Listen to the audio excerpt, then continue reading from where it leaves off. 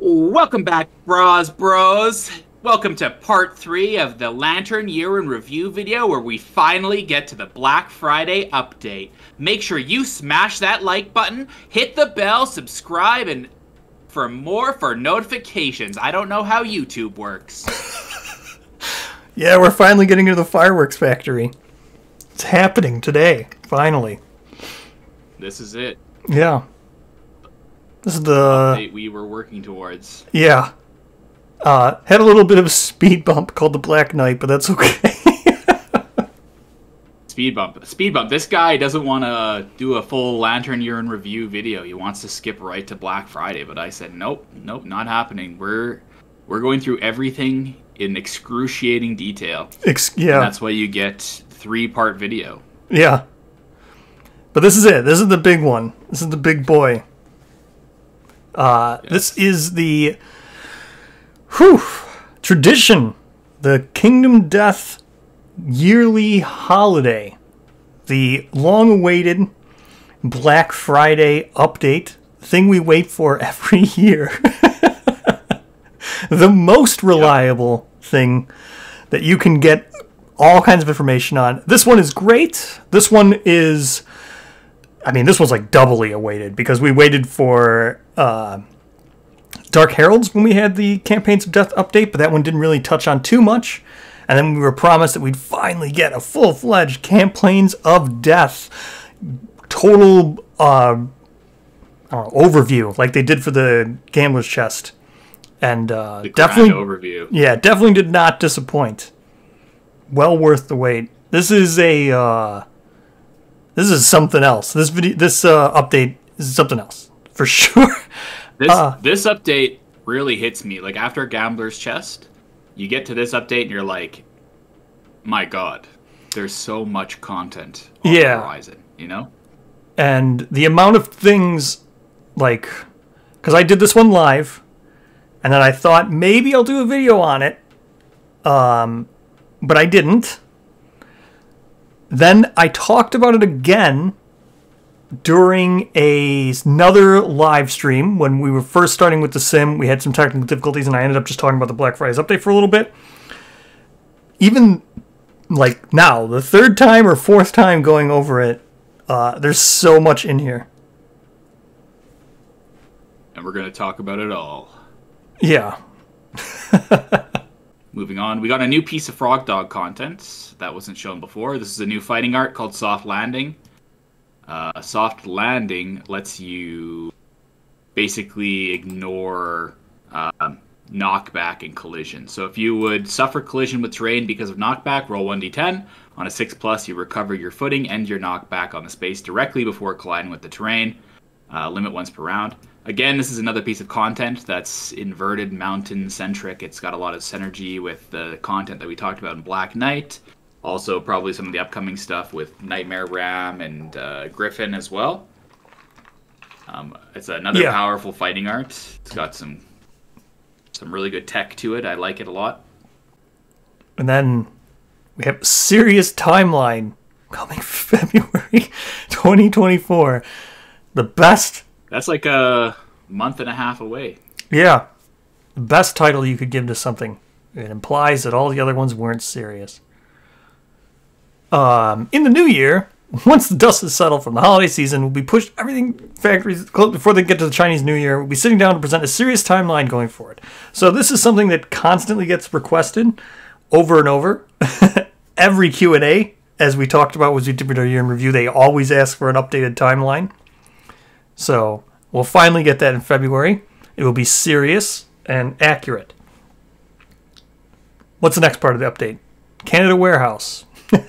Uh, for this, for the serious timeline thing, I think um, we talked about this a little bit in the Black Friday video, or sorry, the Black Knight video. This is the Black Friday video. Um, in the Black Knight video, that this diagram initially when I first saw this release, I was a little bit skeptical. I was like, ah, they just picked these random monsters. But um, as we look back at it, like I think this is the definite, like immediate release schedule for Kingdom Death, even prior to this serious timeline. So we've got Frog Dog after Black Knight, followed by Titan Bee, and then last Screaming God before they move on to other um, expansions of Death 2 content. Um, I also think this is kind of what solidified my opinion that uh, Honeycomb Weaver and Titan B are going to be split up as separate expansions, just because they've only got Titan B shown here and not Honeycomb Weaver. Maybe it's just to save space or for busyness or whatever, but I don't know. I'm feeling more and more secure in my my thoughts that Honeycomb Weaver is going to be split off from Titan B. Um, again, I like to be careful with my wording when I say Honeycomb Weaver being split off from Titan, or not, uh, Titan B and Honeycomb Weaver being split apart. Uh, it does not mean that you have to purchase them if you already purchased Honeycomb Weaver. Uh, but it would mean that you would have to get them shipped twice. But uh, I would think that maybe they would ship together. Uh, yeah, I don't. I don't want to speculate or confirm or deny whether or not they're going to be that. Even with this image, who knows? Um, it's a tricky, tricky thing to evaluate. But um, as a side note, it talks about Chinese New Year. Um, not really anything comment driven in the, the update, but this year is the year of the dragon. So I uh, I think we spoke about this in the first video. Yep. But it, it's it'll be interesting to see if there's any like dragon themed releases for Lunar New Year this year. Yep. Um, probably there will be. This section also is cool because it mentions some of the super super super future monsters that are they're planning for the Ringtail Fox campaign. So they mentioned the Golden Bat, Iron Succubus, and uh, Ringtail Fox and the ringtail fox itself. Mm-hmm. Um, so, yeah, the golden bat I think is probably a name change from the great bats that were mentioned in the original Griffin lore. I agree. The iron succubus is probably some kind of new nemesis monster. So, it is kind of uh, crazy to see like how far in the future they're planning when we might not see some of this content for another several years, right? Hopefully, the production schedule speeds up a little bit now that they've we're out of COVID and they've kind of got gamblers' chests out of the way. But yeah, it's wild, hey? Uh, yeah. I mean, we'll see. I think if anybody were to ask Poots uh, about anything, I think he would be happy to talk about it. So, mm-hmm. um, yep, I'm sure there's all kinds of cool stuff that are planned for it. Like a 2D video game should be coming deck building game should be coming. Terrain for the showdown board should be coming. There's all kinds of stuff that's coming. It's cool. Uh, Just waiting in the wings. Yeah. Owls, all kinds of stuff. Next, we jump into campaigns of death. Yes. Um, specifically the boxing of it. Um, I'm looking at the uh, the diagram, the comparison diagram, just first. And yes, man, that is crazy, right? Like, it really shows how much the scope expanded for campaigns of death. It really went through its own process, kind of like Gambler's Chest, right? Like, even the size, 40 to 80 page book, going up to a 320 plus page book. That's that's a lot of book. That's that's a lot of book. Um, yes, I agree it's quite a jump to what you're getting and to what it was. Uh, just to be fully like, I was fine with the original pitch for Campaigns of Death. Uh, I'm glad I'm getting what we're getting now. But uh, even when it was originally pitched, it was still very impressive, in my opinion, as to what it what it was. What it is now is definitely a whole nother thing. Which is yeah, good. I'm, I'm, really excited for Campaigns of Death. Yeah. I think I'm more excited for Campaigns of Death than I was for Gambler's Chest. Uh, going back and revisiting all these campaigns and tightening yes. up a lot of the systems and, and the stuff that they're adding, like the Pillar Strain system finally getting released in like a full rule set, the Synergy stuff that was announced, Death Worlds, uh, the upgrades, the expansions, and then they announced this darkness mode, which we'll talk about a little bit later. But like, it's it's a lot of systems, and I really think this box set is going to turn Kingdom Death into like a perennial kind of game. You know, like this will be infinitely replayable at this point, and then we're only getting more content on top of it going forward. Correct. So, we have the grand overview. uh, this part just shows everything that's in here, which is Ancient Butcher, Dung Beetle Baron, Wise One, Infant Sunstalker, Verdant Lord, uh, the Dying Sun, Devil in the Gloom, and that stuff as you just mentioned. Uh, the Death World, all those other things. Uh, this does mention Scout support, Knowledge support, and then Darkness mode. This is quite extensive amount of systems. Uh, it does rival Gambler's Chest in the amount of things that it is introducing. Uh, it has a lot of things to tie together. Uh, we're just going to have to talk about them slowly to cover everything. Um, talks about all this thing. Basically, there's a this part here where it says master plan. We just basically talked about all this stuff. The hardcover rulebook that's going to be included is going to be all the original 12 rulebooks, or 11, because Green Knight Armor did not include a rulebook. So the original 11 rulebooks will all be put into a hardcover book, and then a whole bunch more will be included for all the different campaigns, all the different synergies, all the different story events, all the Death World stuff, the Darkness Mode stuff, all the rules, all those things. So it will just make Kingdom Death need three core rule books. The core game is the Yeah, I was, just, I was going to ask you. Do you think um, eventually we should get like a consolidated rule book, like yes. the ultimate rule book that has yeah, like, yeah. Gambler's Chest, Core, and Campaigns of Death all yeah kind of packaged together? Like they do it's that. It's going to be for, necessary because there is yeah. They do that for TTRPGs, rulebook compendiums. Yeah. It would be neat. So I, I'd pay for that. Yeah. Wink, wink. Um, yeah, it would be interesting. Um, maybe can't or maybe uh, Kingdom Death 2.0, right? Yeah, that's true. So, uh, first on the list, People of the Mirror Stone. Whew. This was originally going to be the ancient butcher centric. Well, it still is, but originally it was going to just be the highlight of the campaigns of death, which I guess it still is. But um, originally it was going to be the only nemesis, or not nemesis, core slash finale monster that was in campaigns of death, which is wild to think about now, going back and looking what we actually have. It was a good choice because it would have been odd, as Poots had mentioned, it would be odd for the Ancient Butcher to do all that heavy lifting to accommodate all those different variant expansions and be the core or slash finale in all of them. Yeah, agreed.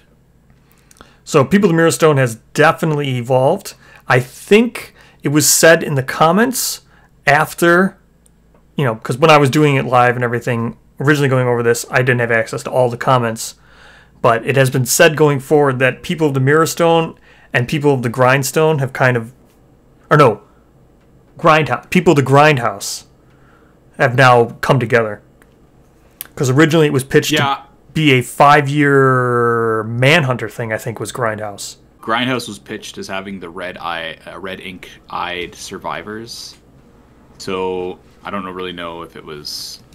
I can't remember if it was like specifically Manhunter themed, but I am a little bit bummed that we have lost the Grindhouse five year campaign. A little, apparently, might still be in there. Who knows?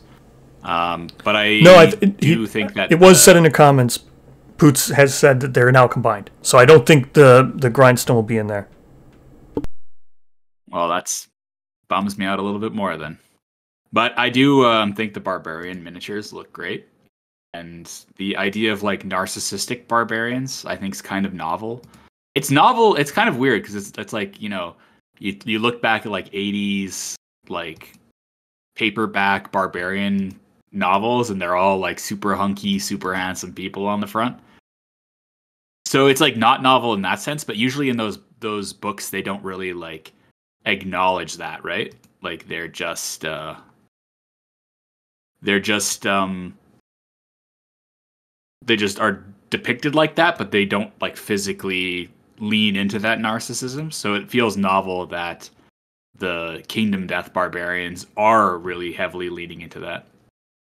There's also a piece of artwork that was shown in the update um, that shows the the survivors working out, and uh, in the background they're all doing squats by like lifting these monster jaws, and I love that. That's such a cool. Yeah, yeah.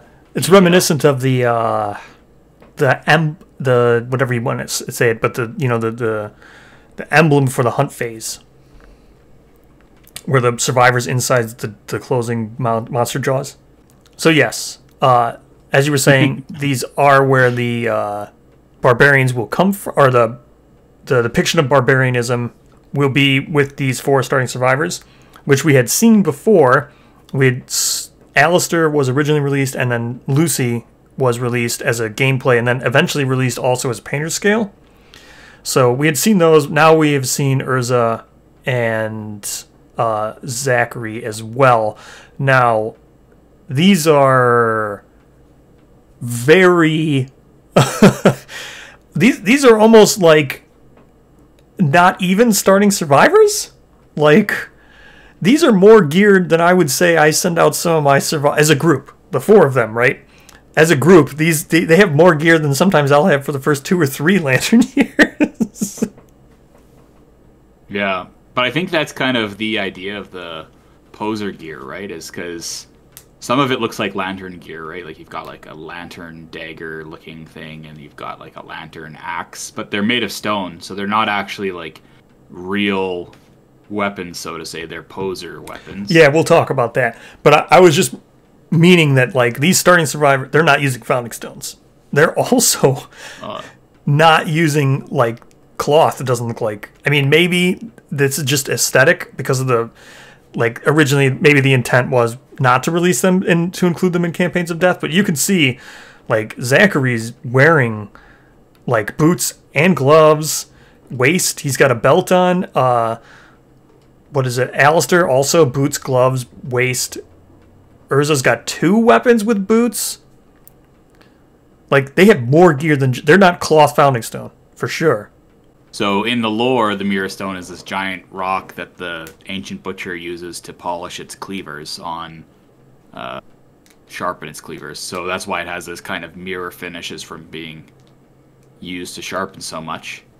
Um, there's some uh, cipher language on this. Ah, yes. I was going to say, should we preview preview of things to come? this yeah, well, this one I actually couldn't translate because it's, Well, uh, you say this it's one. not. How Yes. how frequent are we going to see this cipher language? It's kind of common in this update. Um, most of it is translatable. This the Mirror Stone, unfortunately, is a little bit um, harder to read because of the size. So I wasn't able to get a translation. But I'm assuming, based on some of the other cipher language that's shown in this update, that it doesn't really say anything. Most of it just says like this is a spoiler. Like we're not talking about spoilers Safe bet. um, in in better words. So I, I am like leaning into that's that's what it says. yes. Uh, but but we do get a showcase of um, a weapon that we can start. So this is this is novel in the sense that every other starting location we've ever had in the game, you can't build gear at it, right? Like it's just used to innovate and go to the next uh, kind of settlement locations. But this time we can. So you can build the poser club, you can build the poser sword and the poser axe. And we see the poser club. club. It's a speed one, nine strength. Oh, sorry, speed one, um, nine accuracy, nine plus accuracy, strength one weapon club Yep. Cumbersome and frail, and when you pose, gain plus one confidence token if you're wearing no armor gear.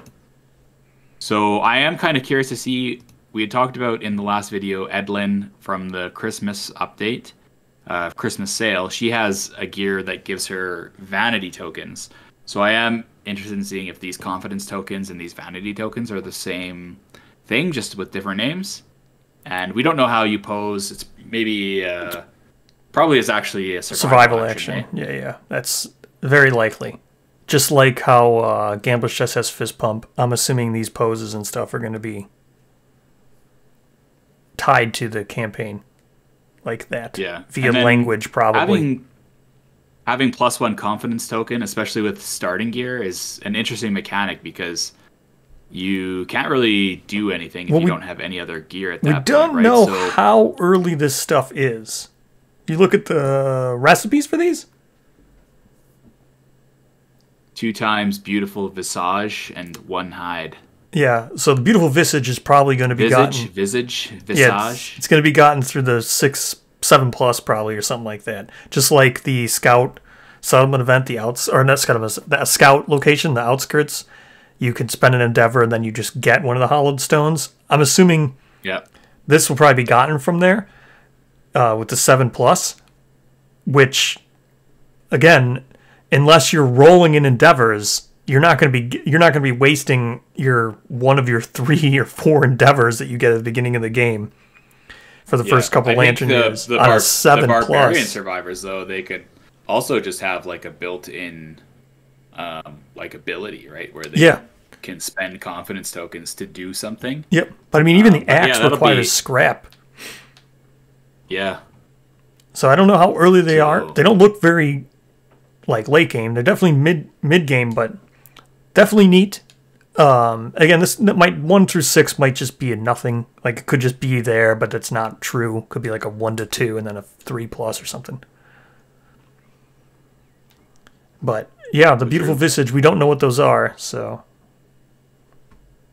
and then it jumps right down into another new 30 year campaign and this is people of the valley previously announced as people of the blighted valley i think they just dropped it as like Yep. a like a concession for ease of speaking i suppose or lore reasons. Um, yeah. So this is this is really um, the Dung Beetle Barons campaign, Mm-hmm. um, and it explains that our survivors are going to be settling inside of this massive dung ball. I think the artwork for this is really cool. I, there's a couple details that I didn't notice when I was taking my notes, but the first is that the Dung Beetle Barons castle, Dung Ball, kind of has this like relief of survivors climbing up the side of it, which is very similar to the gambler chest uh, or the gambler's ball of snorers, I guess. Mhm. Um, and then also on the bottom right hand corner of the picture, you see some survivors, like the starting survivors leading into the, the castle, but then there's survivors on the right that are like covered in some glowing blue spores. So it makes me think that that's the blighted part of the people of the blighted valley. Um, they're getting infected by some kind of weird fungus, and I don't know. Maybe they'll be like some kind of zombie encounter monster or something like that. Some fungal zombies. Correct. I actually thought that as well. That's the zombie ant, right? Where the Yeah, the- clickers. yeah, the fungus takes control of the body, so it can bring it to where it can. The first thing I thought of when I saw the survivors crawling up the side, along with being this blue stuff on them. Yep, it might and be. then we see that uh, survivors are able to collect mushrooms from some kind of crazy fungus chandelier. This is probably the uh, main settlement location of people of the valley. I agree. and we get to discover exotic mushrooms in a story event. I'm wondering if this will be um, added as like a new special hunt event card where you can do like fungal gathering, like you can do herb gathering or mineral gathering or sky fishing um, Yeah, that could be. in the core game in Sunstalker. Yeah, that'd be interesting. Seems like it'd uh, it'd fit IMO. It would just be interesting because we need like some kind of special gear that triggers that, right? Like because we have a sickle and uh, yes. pickaxe that trigger those events respectively, but I don't know if they would just give you another sickle or I don't know, like a mushroom harvesting knife or something like that. Um, Well, it is. We will be doing potion. Well, I don't know about the potion brew, we can do stuff with them. A new type of cooking or something, brewing. brewing, yeah. Uh, so I think this is going to be adjacent to cooking almost, right? Where Yes. So it could it shows be. this it shows this new resource card, the Veiled Stinkhorn, um, where you can either consume it, archive this, and you're stinky for the rest of the year, or when you brew with this, add one instance of the Odor Mantle ability to the brew results. We don't know what Odor Mantle does, but it seems like you're able to we kind of or we don't even know what brew uh, results are. no, we don't. But like from from how it's worded, it sounds like you're able to compound abilities, like with certain mushrooms. You know, yeah. probably get like these brews that are, you know, less functional, and then later game you're going to be like stacking tons of mushrooms and just coming out with about seven instances of odor mantle. Yeah, whatever, whatever. yeah, that's really speculative. Um, it's nice seeing the fungus keyword back. The last time we saw that was on the Dung Beetle Knights uh, um, Century Fungus Underplate Fungus resource yep. card. Uh, I don't know. I like little keywords like that, so that's I'm pro random keywords. Keywords are good. So next we have and then the, we get to uh, see some. Well, we, we have concept art next, um, but the concept art is probably indicative of uh, more of this. I would assume the same things that you're brewing with is what I took this as. These are the these are going to be your your brew elements.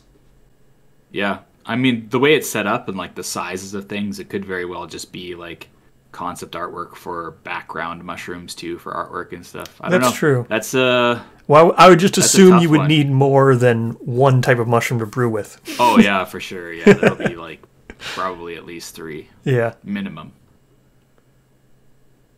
But there's this cool artwork. We don't really get to see this kind of stuff very often where they do concepts of creepy background stuff in Kingdom mm-hmm. Death. So I hope they do start showing this stuff more often.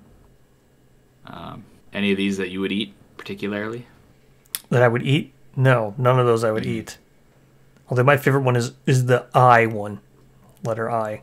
The letter I. That's my favorite one. Oh yeah. I like the big corn stalk looking one. Oh yeah. Anyway, moving down a little bit, we also see that we can use these mushrooms that we are collecting to build some fancy mushroom gear.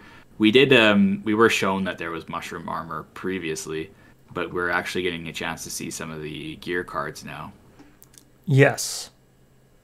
Uh surprisingly powerful. I think this seems more on par with leather if you ask me, but uh, I don't think it will replace rawhide because it says the consumable keyword on the gear. So you could possibly lose your gear.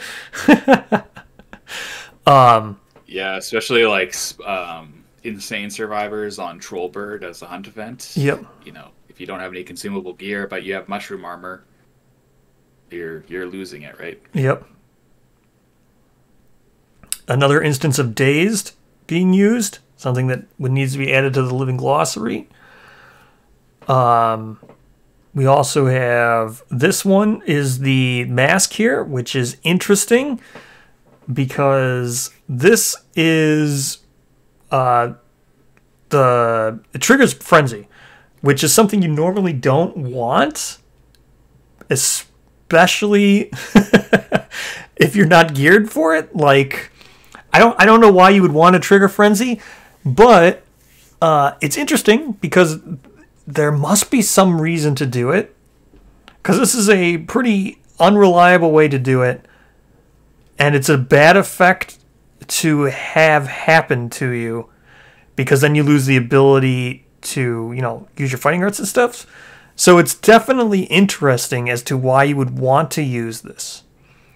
Uh, there's got to be something to do with frenzy. I would I would assume I mean, there's got to be more gear that kind of synchronizes with this, yeah. right? Yep. So, but you can tell from all this, all the gear that's shown, they really are focusing on like the kind of, uh, like, yeah, hallucinogenic, like narcotic that's, kind that's of. what I was gonna say. Mushrooms. That's what I was gonna say. So the the fact that you were mentioning the, as we were talking about with the, the glowing blue survivors and being adjacent to this with all the spores and everything, uh, you know, being influenced by it or being some kind of changes going to them. This being dazed and having frenzy is, definitely playing into that. Next, we have Fungal Fan, which is an actual fan.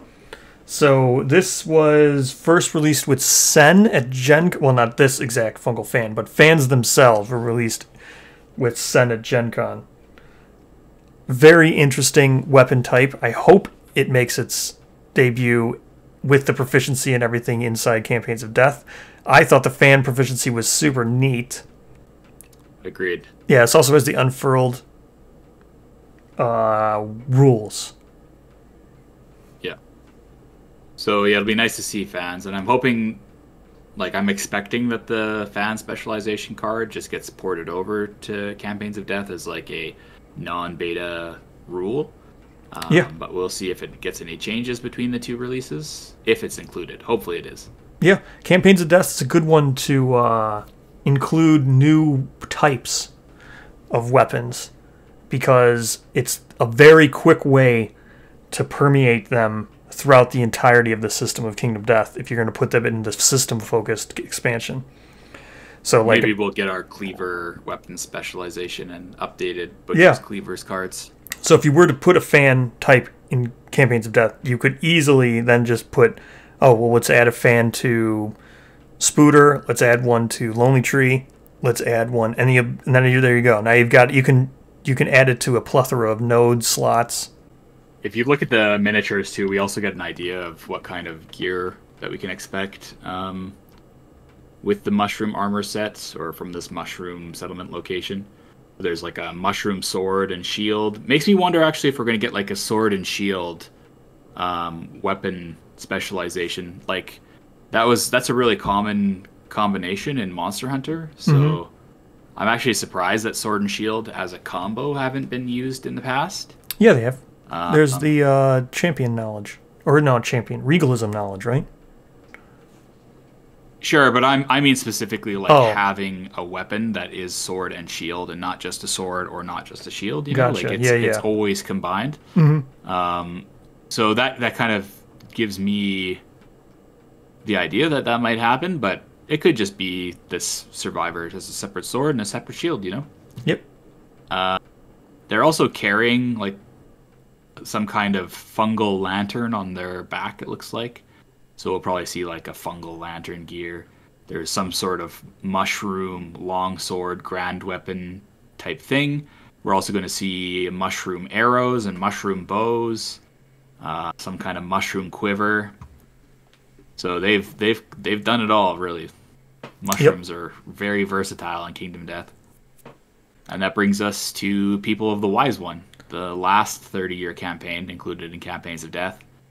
Um, this campaign features a Spidicules that has been left in a a lost settlement. Basically, they've they've had a game over, and this legless ball Spidicules that was rolled back to the settlement has been forced to live there for who knows how long until some new survivors come along and start worshiping him or it, I guess, as a um, kind of god or deity. Yep. Uh, we see some artwork where a survivor is kind of rummaging through a silken tunnel, and there's skeletons and lanterns and all kinds of stuff down there. I, I am curious. I, like what I would think from that mechanically is that you might be able to like take a trip down these tunnels and kind of dig through the garbage of the old settlement, and maybe you'll find some weapons or gear or armor or something that you can pull out of there. Yeah. It's possible. I think that'd be a neat little. They have that in Gambler's. Chest. Uh, I think one of the scout events, you dig around in an old settlement, you can find oxidized stuff. Okay. So very cool. Yeah, so I'd like to see some of that. It's like kind of like accelerates you too, right? It might be a good base for. Yep. Now, do you have any thoughts on the crest for this campaign? Um, I think the crest is very telling. well, I think the crest really signifies how the wise one really is like a mental threat to survivors versus a physical threat, right? Like he's Yes. It's definitely it's like amputated stuff like that. The whole focus is on like control. Like Spidicules itself is about that, right? Like the yes, the puppet and- stock. Yeah. yeah like it's able to get inside of your mind and it has all these special disorders in this this campaign that that um kind of hints to its still its desire to to manipulate survivors in that Yes, way, that's what I was getting at. This crest definitely looks like it's going to be featuring manipulation. gaslit by another monster Mm-hmm. Now, the interesting thing here is Um, the puppet stock was cut off. So, yeah Can't have that hanging around though. You know, it'd be pretty gruesome to just have that chilling out and Yep. Your settlement. Um, we also see the settlement location for the wise one. There's a big Endeavor box at the bottom here. Um, this one also is just a hint. Uh, the text in the first sentence underneath the, the Endeavor result says, uh, nominate a survivor to hide the spoilers in this event, roll 1d10. So, kind of just a cheeky little like you spent the time to translate this, but we're not giving you any information, haha. So jokes on me, I guess. And then scrolling down from there, we see the first of these disorder cards that we were talking about. So the this is a uh, excluded card, Marionette. It's a disorder that will only be added to the disorder deck at a specific time. Um, we don't know when. Yep. It says during a survival opportunity, the monster controller may have you gain plus one movement or plus one activation, which must be spent immediately. They control you for this movement or activation, limit once per showdown. Yep. So I think this goes So back this to the like a- crest, playing the wise one being the brain of that survivor. That's why I think it was colored, it's- it's- colored pinkish. It is interesting though, because the monster controller is still usually going to work in the favor of the survivor, right? So Correct. to me, this doesn't really come off as a disorder, unless there's some other mechanic Well, that exists in the uh, Wise One what- campaign that I now I forget. Didn't I? We did this. We did the Morse code here. What did it come? Automaton, right? the. Uh, as far as I know, the Morse code doesn't translate to anything. I tried translating it, and it just said I think it came out as automaton. but automaton. I don't know.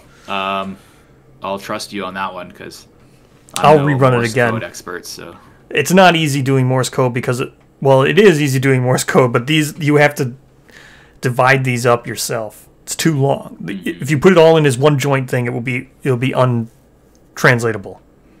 But if you which is which I, what I did. So yeah, I- I you had to know. break it up. I'll translate. I'll translate the cipher stuff. You translate the, the Morse. Yeah, I think it, I think it came out to autumn uh, automaton. Yeah. But I am kind of curious to see if there's some kind of mechanic that exists that forces the monster controller to act in a way that is like not conducive to the cooperative aspect of Kingdom Death. Yeah, I know, think that's very possible. It would be a very interesting thing to do to the game to make it so the control the monster controller acted maliciously. yeah, like has to act in a specific way, or maybe the monster controller will have its own trait card that it needs to do something in like a specific way. There might be a new monster controller tile. Who knows? I don't know. Yeah, there's a lot of there's a lot of mechanical design space um, behind an idea like this, right? So Yeah, behind all this, where the the thing is influencing, controlling the monsters controlling how you play, yeah, could be interesting. Also, I like the wording on this. It says during a survival opportunity, which is something that should honestly be put on more cards. survival opportunity. yeah, that is a good trigger. Yeah, it's a good trigger. surprising trigger. Um, I never even thought about that. Yeah, good point. When the hell are survivor opportunities again? yeah, there's tons of Just them. kidding. Um, so next we have this, which is I have yet to parse exactly all what this is,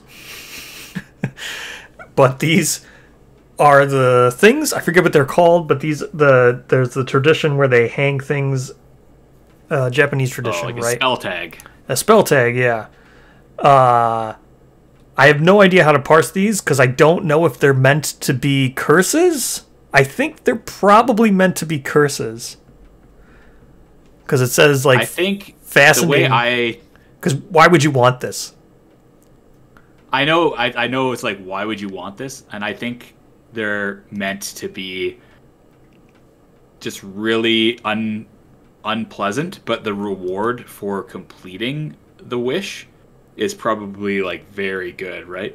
I don't know. It even has the question mark at the end of it where it says craft wishes. Faith is rewarded. Question mark. Yeah, yeah. I think it's got to be rewarded because I do trust the the play team in that because like when they initially discussed in the the the encounter system, right? Like the playtest team was like this is too non-rewarding.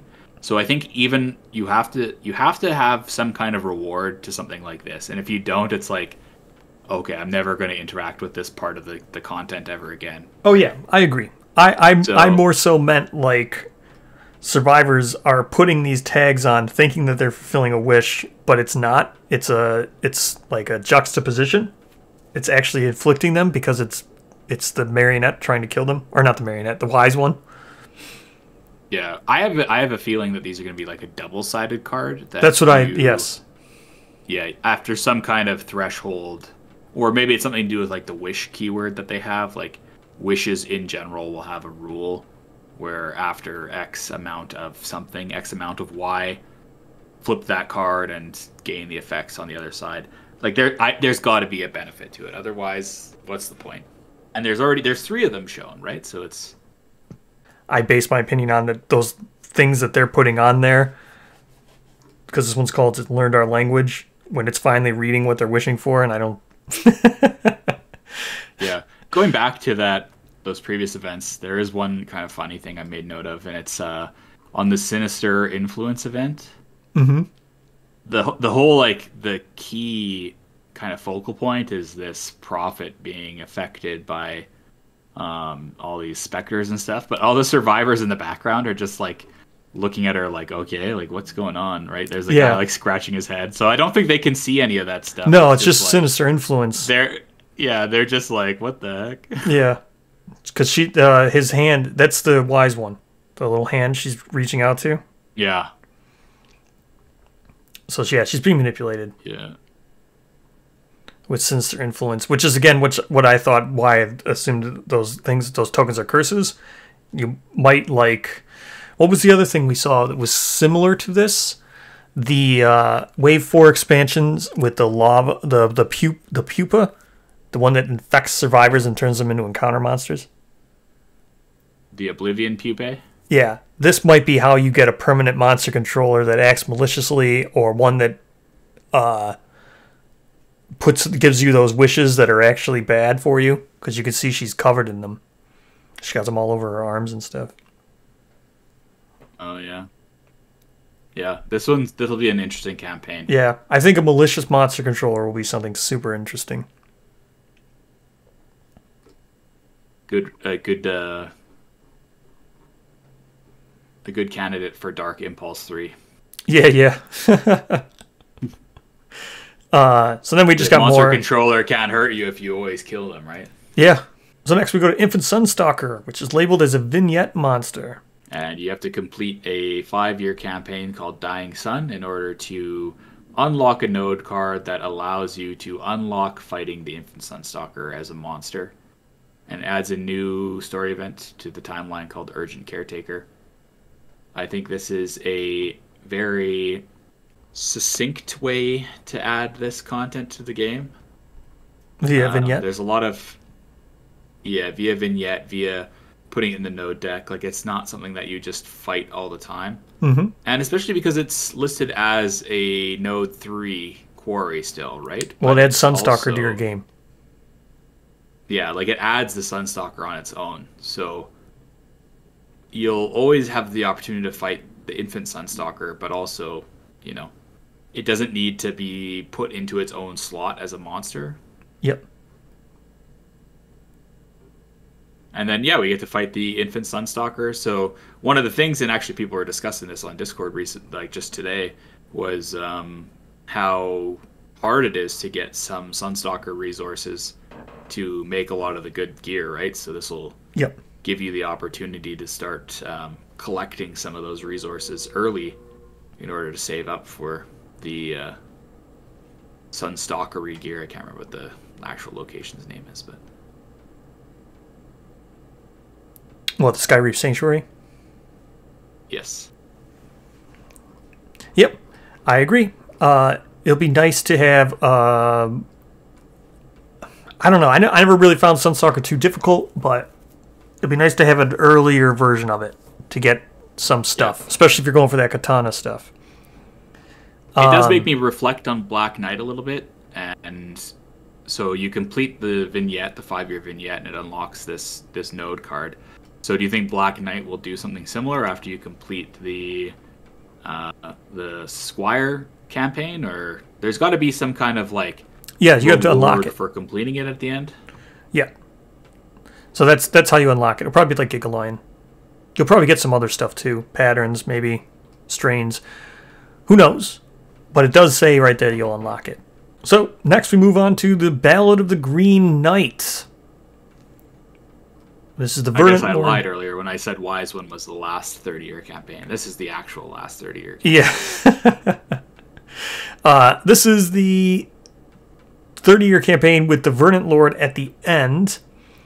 This is a bound campaign, meaning that it's always going to use the same nodes, barring some very small amount. Um,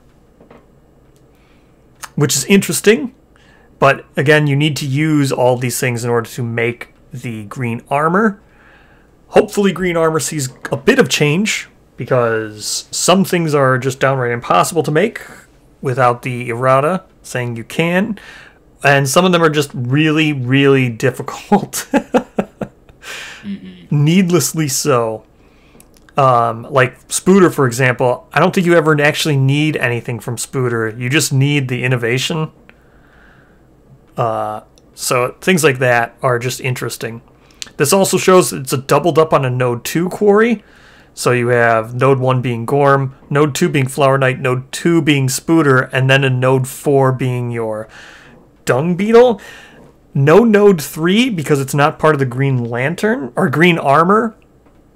So uh, interesting that you can sub out node 2s for your node 3. This also interesting that uh, Flower Knight is a node 2 quarry because Flower Knight needs some help in order to be a node 2 quarry. Uh, it doesn't even have like an armor set, so um, kind of hurting yourself if you're using that as your only node 2. But uh, interesting. This is an interesting spread. Node 1 being Butch or Manhunter replacing Butcher is very interesting. I purpose like I love that idea. The fact to have these two old nemesis, the Lion Knight and the Manhunter actually being direct replacements. I've always wanted that to be a direct replacement. Manhunter will be unique. Needs to be slightly retuned, but shouldn't be too bad. Overall, this is a very this is like the expansion our campaigns of death like expansion free for all campaign. this Yeah, one I do wonder if it'll be kind of like a continuous rule set where you can swap out a second, like the next node for a second of a thing. So like instead of a node two, like you'll have two node ones, or instead of a node three, you'll have two node twos. Like, will that be a part of the rule set in general, or is that just a special thing for Ballad of the Green Knight? Yeah, I don't know. I, I hope the Green Knight armor gets some reworking as well because I don't want to always have to play Battle of the Green Knight to make the green armor. Yeah. But Well, I really anticipate the Green Knight armor becoming like pattern cards or I seed agree. pattern cards even. If they were seed pattern cards, it would be kind of semi easy to pull them, right, from the seed pattern deck. Yep. Like especially because you're building it like you'll have one that has Gorm, one that has Flower Knight, one that has like they're very like there's not really a lot of seed patterns that have these monsters as requirements, if any. I think Dung Beetle Knight has one. Uh, Gorm has one um, kind of.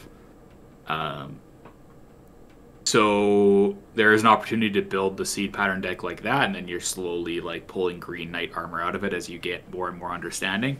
Yep. And then you're at least able to kind of get those cards before, um,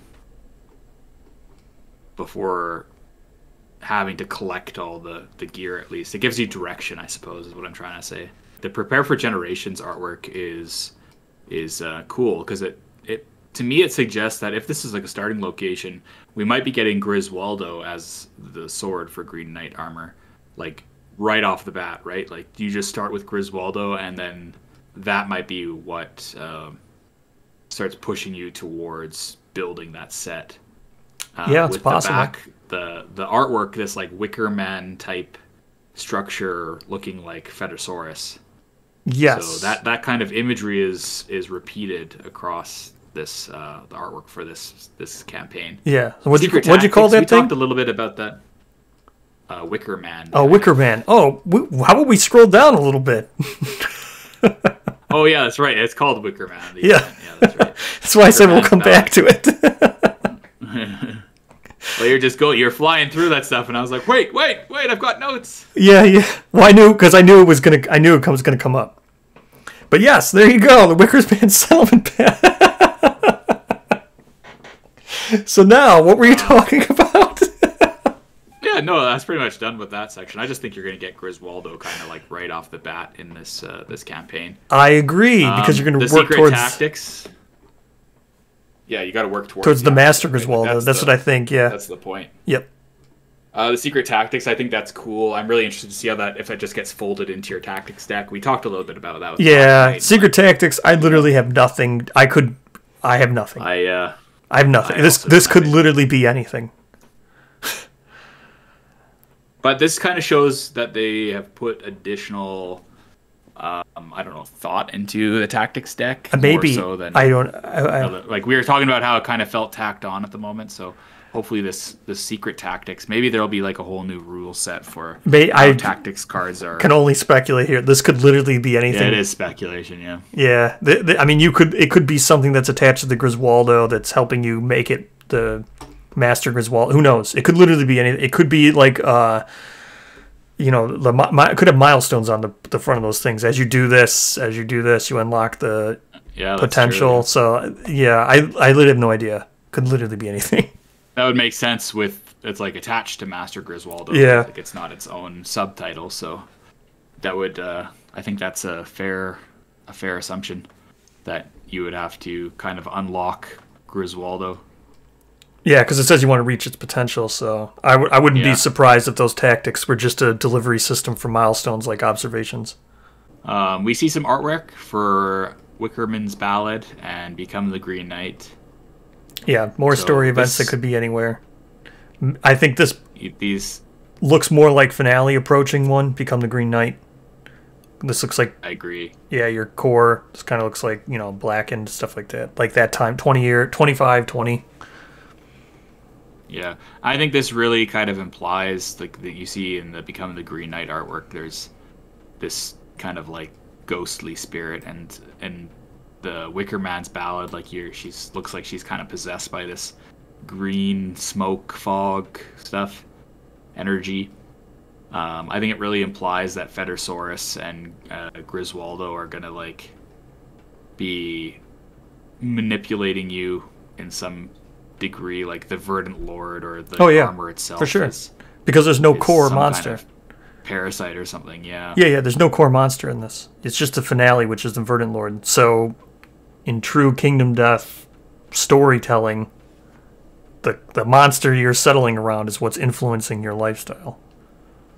Yeah, my personal thoughts based on like the ultimate showdown that we see at the end there is that the survivor that you're preparing the whole the whole year becomes like the Verdant Lord and Yep. you you have to fight your own champion essentially. So Yep. um, and the only reason I think that is because you see the Green Knight, or you see, sorry, you see the Verdant Lord standing there, and then that same kind of imagery of um, Fetorsaurus. Am I mixing them up now? Yeah, Fetorsaurus is the shield. Shield. Yep. You see that same kind of uh, Fetorsaurus face behind the Verdant Lord, so. Yeah. It's supposed to be vivid magenta difficulty class. We decided Yeah. to make this the most This challenging fight. again. This is pure. I was about to talk about this. this. Is we can only pure speculate what this even means. I don't even. I don't even know what this means.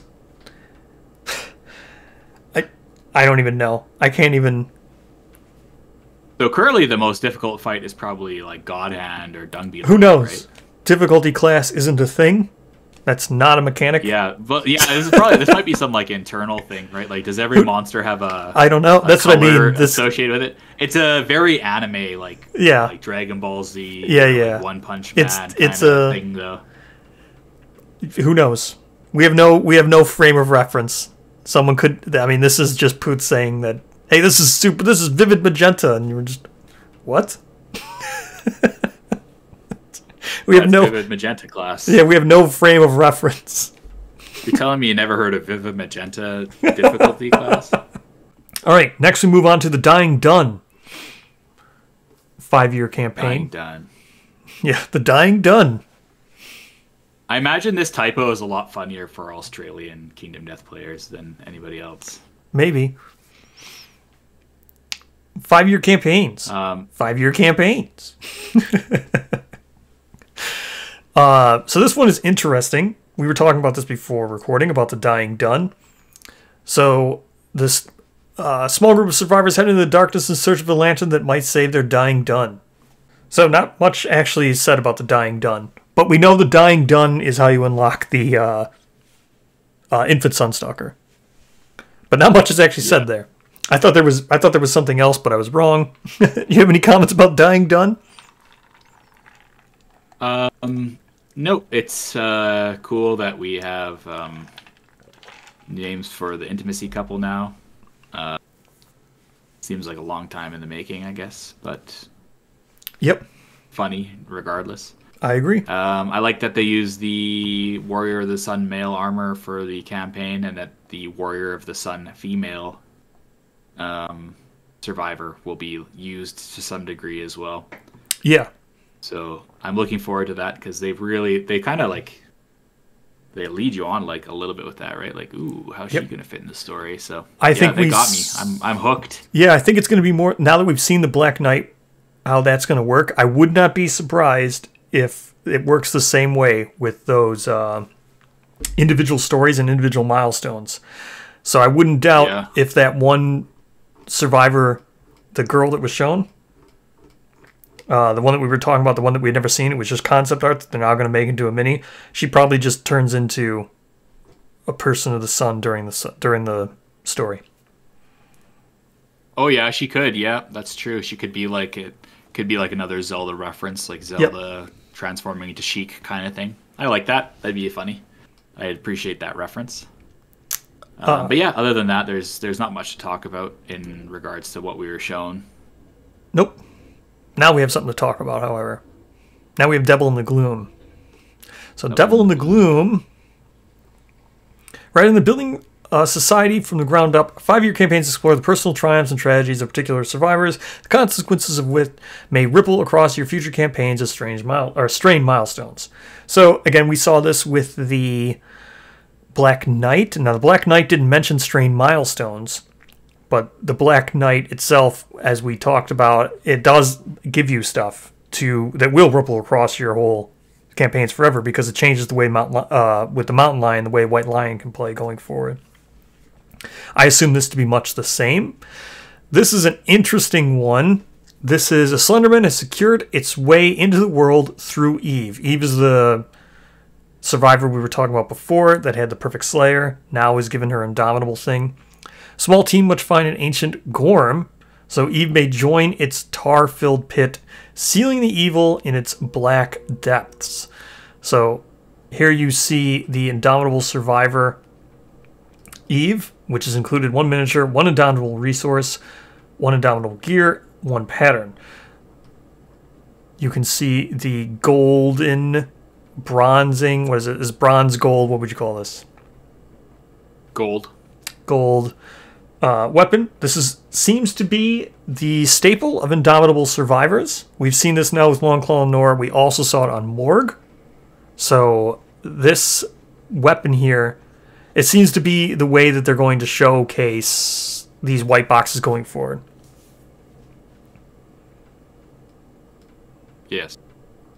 Um, I think it's cool. So that weapon is supposed to be a Vespertine pole axe. So this has Correct. A lot of synchronicity with Flower Knight as well, just uh, Correct. on virtue of being an indomitable weapon. Yes. Now, it, one Indomitable resource probably means it's a Flower Knight resource, I would assume. I agree. Yeah. So this is a Flower Knight buff, so that's good. Here's the interesting thing. Small team must find an ancient Gorm.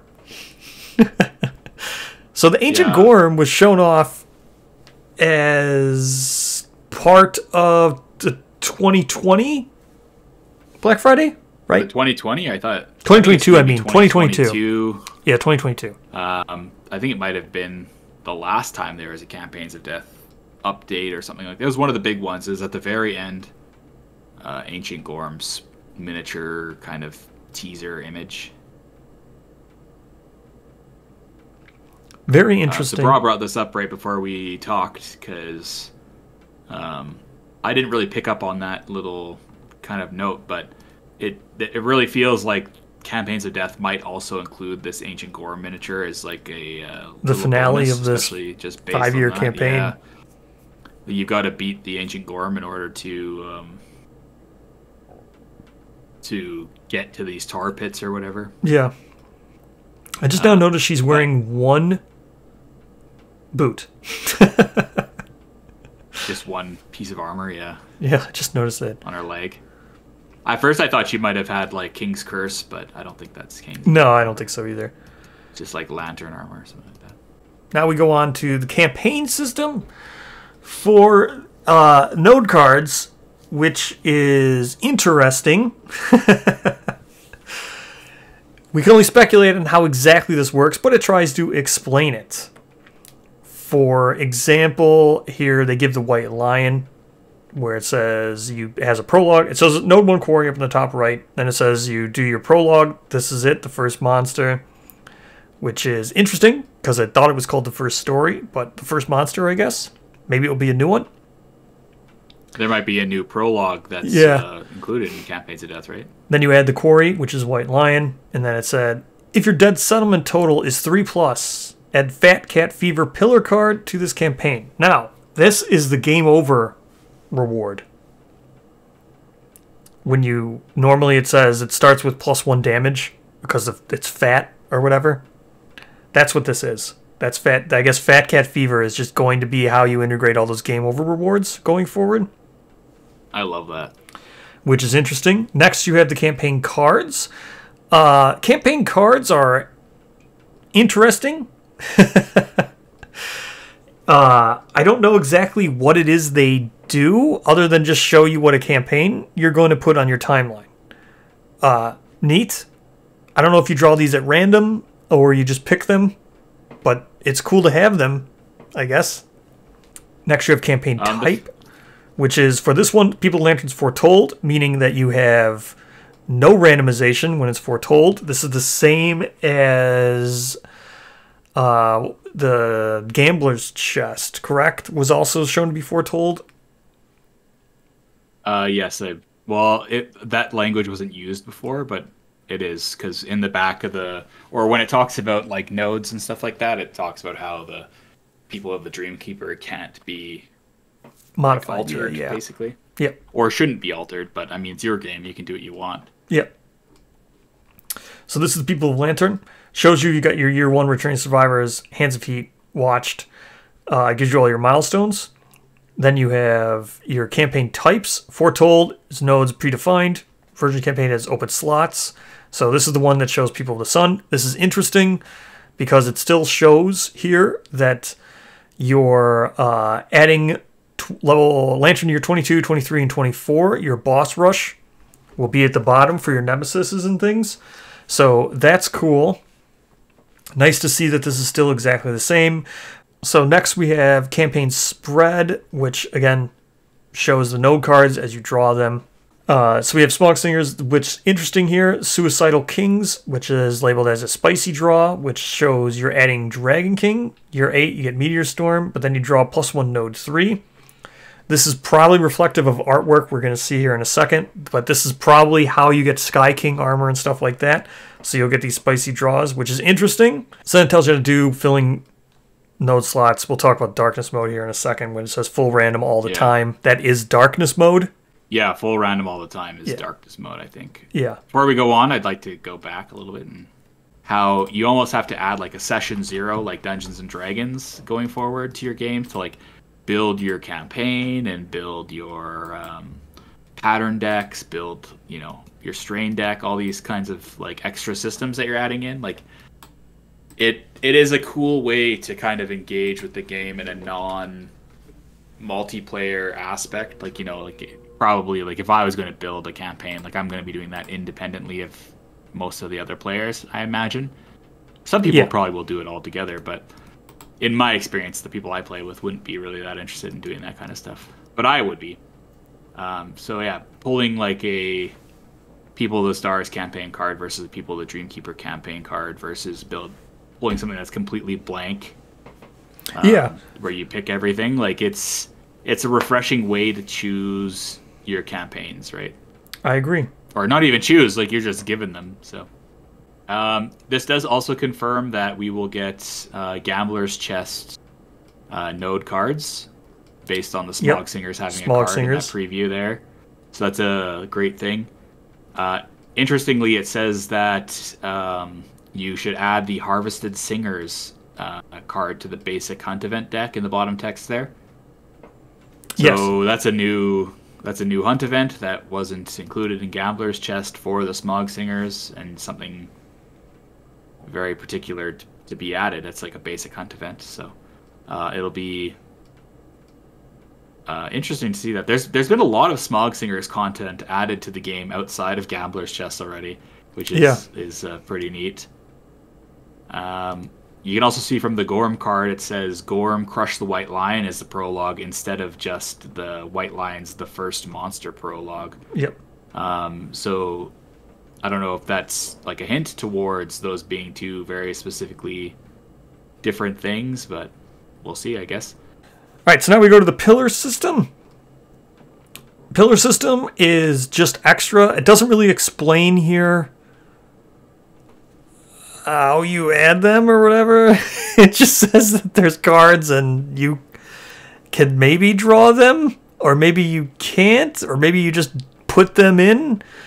I don't know. It's called a, vom- a vomit kaleidoscope. So Yeah, I imagine because, you know, you only need two pillars in order for a game to become Advanced Kingdom Death yeah. based on the Gambler's Chest rules. So, So I would think that you can just draw like as many of these cards as you want or take whatever cards you want. who Um, knows? There might there's probably going to be rules for like There has to be know, rules for this. So the example I mean, there doesn't really there doesn't have to be rules. Well, okay. uh, So the first one given here is Arc Cells.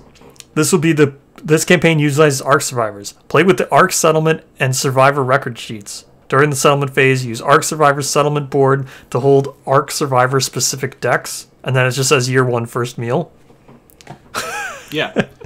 So, you know, basically that's no different from saying I'm going to play with Arc Survivors this game, right? Like It's, it's, just that's what I mean. It's and- it's but I mean it should also tell you to add like intimacy, arc intimacy. Should also tell you to add all the arc settlement. Like it should you should be adding in all the philosophy. Like you need to add that's murder. all in the Gambler's Chest rulebook. Ah, yeah. These are just previews, anyways. I'm sure these cards will change. Yeah, more. and then there's bone eaters. You just draw add bone eaters. Luck. There you go. Lonely Um, tree is apparently a pillar now. Yeah, which I actually love that. That that makes sense. But Yeah. I think it does add a lot more bookkeeping to the game. Yep. Or like housekeeping, because this was kind of this was kind of hinted at with GCE because they tell you, hey, don't play this game with with cards that are not in the game. Basically, like monsters that are not in the game. Take out all the the bannered cards. So me personally, I'm like not a fan of that. Like I'd love to have just like massive decks of all the cards. But Yep. this suggests that going forward, it's going to be really like if it's not in your game, remove it from the decks, right? Like only play with certain certain components or certain sections of components. Yep. Um. So yeah, this. So then it, got- it really seems like Gambler's Chest was prepping us for that. So then you got more here, foreign echoes, which just add five of your fighting arts. Character, add character game box. Then we got this interesting one, which is collections. Uh, a survivor reaches 15 plus attribute total. Um, Infinity puzzle. Have any thoughts on this? I have no idea what this is. Um. Yeah, this is this artwork. This is artwork from Lorinda Tomko, I believe. Looks like her style. So it's probably pretty old artwork. yeah, it looks like Gambler. on how it looks. I think it is gonna be the curator actually, because Maybe. you know collection is maintained by a curator. Who knows? So that that's kind of my speculation on this, but otherwise I have no clue what this is going to be. But yeah, I don't even know I'm how this it. I'm works. glad that it's not just um, A survivor I'm glad that reaches it's not just, 15 like, plus attribute stuff, total. yeah. What does that mean? I don't know. It's just well, I'm assuming that you just get 15 or more permanent attributes, right? But I- that's a very I don't even know if that's a super possible thing right now. Yeah, who knows? Just more fuel for the Dark Impulse 3 fire. Uh, Lion Knight, they showcase that they're going to be adding more roll cards, which I think is a really good way to um, improve that showdown. Lion Knight, I think, needs some of the most work out of. I think a lot of these need a lot of work. They do, they do. A lot of them do need a lot of work, but it is, it is. Yeah, welcome. I, I, I am very curious to see how much these expansions change from their original versions. It's going to be quite interesting, especially with 340 rulebook pages. Like they can do a lot with that. Oh, yeah. Um, Manhunter, we're getting new gear. In Yep. one of the previous updates, they had shown that there was a man trap. They had done gear artwork for it. You can actually see it in the rule book, I believe. Um, but it suggests that probably we're going to get that man trap gear card, and he's going to have some new interactions with his own gear, which is uh, very cool and will probably make it feel more like natural. I am curious to see if uh, level four Manhunter gets dropped, um, and they only go up to level three. What do you think? I don't know. I hope it's only level 3 because they didn't put anything on the Arc survivor sheets or anything like that for level 4 monsters, so. It's like it doesn't. It Yeah, doesn't. that's that's uh kind of why I'm anticipating it to be dropped because there isn't really any other level four monsters. I don't think, right? there are level 4 legendary monsters and stuff. But does the legendary monster count as level four? Sometimes. I don't really think so. It just says it. Yes, I'm, I think the lion, right?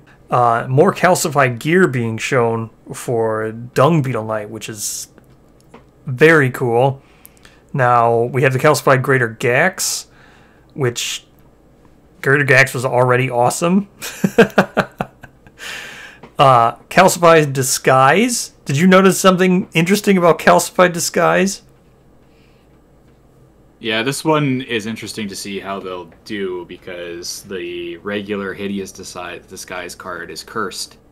So technically, as printed currently, if they don't release like a new version of hideous disguise, you can't really get rid of it to put in the encase and bury um, story event as written. So um, probably, hopefully, they change that and get rid of that special rule on that item or else this card uh, kind of is unobtainable, really. But when the Dung Beetle Knight expansion to come out, they included a reprint of Zan the Zanbato and had included like it was like a double-sided card. So these very much could be just reprinted versions of um, Yes. those original cards because they're flipped so- over.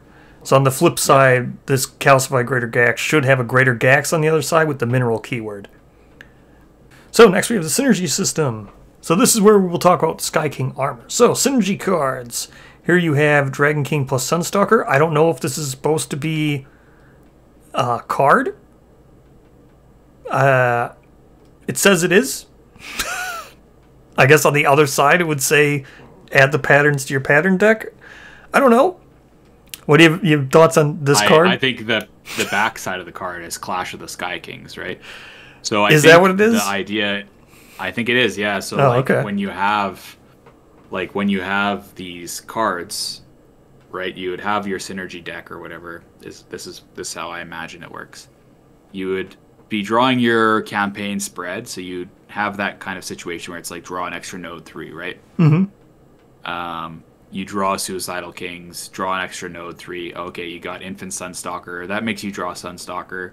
Now you go through your synergy deck. Do I have such and such monsters together? Dragon King and Sunstalker. Okay, I take this card. I don't know if you'll draw from like a sub deck out of that, and then you get Clash of Sky Kings or.